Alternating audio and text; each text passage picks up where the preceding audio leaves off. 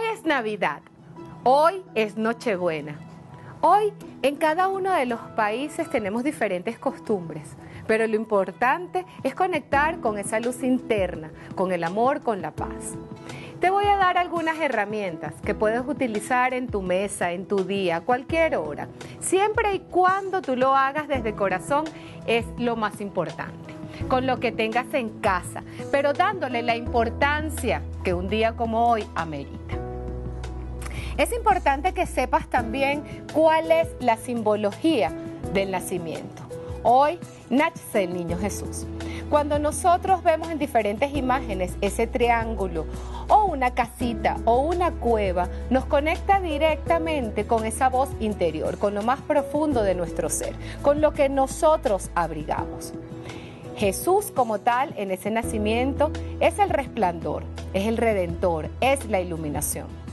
José, su padre, conecta con esa energía masculina de creación, el que va obrando en bien. Y la Madre María hace de esa protección el abrigo de todos los hogares. Cuando vemos en la simbología de los nacimientos, la estrella es básicamente el faro lo que nosotros sabemos que allí están para esa conexión directamente con el cielo. Si puedes poner un nacimiento, una fotografía o simplemente darle la intención de esa familia y ese hogar, ya ahí haces una gran diferencia. Entonces, si hablamos de herramientas, es importante que sepas que las velitas como tal son sumamente importantes en este día. No importa el tamaño, el color que tú puedas tener. La luz simboliza como tal esa luz divina que viene del nacimiento y de la, del resplandor del niño Jesús. Vamos a preparar un par de velitas que puedes poner en esta Navidad. El día como hoy, no importa si estás solo en casa, si estás con amigos, si estás en familia. Lo importante, como siempre les digo, es la intención con la que la hagas. En este caso yo estoy usando una vela blanca y una vela roja. Tú puedes usar el color de las velas que tengan. Sin embargo, el blanco habla de esa protección y la pureza y el rojo habla del nacimiento. Cuando encendemos esa luz, buscamos la pureza en el nacimiento del niño Jesús, dándole la iluminación a nuestros hogares. Pero si tienes otros colores, no importa. Lo importante es que tú básicamente lo hagas desde ese conocimiento. Les voy a poner un poquito de aceite de almendras. Sin embargo, si tienes algún aroma con esos aceites y esencias que tú tienes en casa, es importante que pongas uno de, de tu agrado. Untamos, también puede ser aceite de oliva. Untamos esas velitas y vamos a darle toda la intención que nosotros queremos. Cerramos nuestros ojitos y pedimos en este momento que el nacimiento del niño Jesús traiga la iluminación, la sabiduría, la salud, el amor, la paz y la protección en cada uno de nuestros hogares. Y enciendes tus velas. ¿Por qué? Porque en esa iluminación toda la casa va a cambiar con una radiación completamente distinta. Tú pones aquí tus velitas y si hay varias personas contigo, están tus familiares, también pueden hacer sus oraciones de Nochebuena. Vamos a encenderlo para que esta luz ilumine cada uno de los hogares. Entonces, al encender esta luz, vamos a pedir que ese brillo impregne los cuartos, la cocina, las habitaciones, el lugar donde están.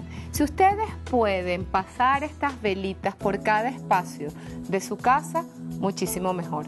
Y van pidiendo también esa bendición para cada uno de los miembros de la familia. Luego pueden ofrecer estas velas en su nacimiento al niño Jesús. Es un bonito ritual. Otra de las cosas que pueden realizar también en esta Nochebuena es un compartir. En este compartir o este regalo que le pueden dar a las personas que ustedes quieran, las hojas de laurel, como se los he explicado en varias oportunidades, sintoniza con la prosperidad, con la abundancia, con los alimentos y con cada uno de los bienes que hay en el hogar.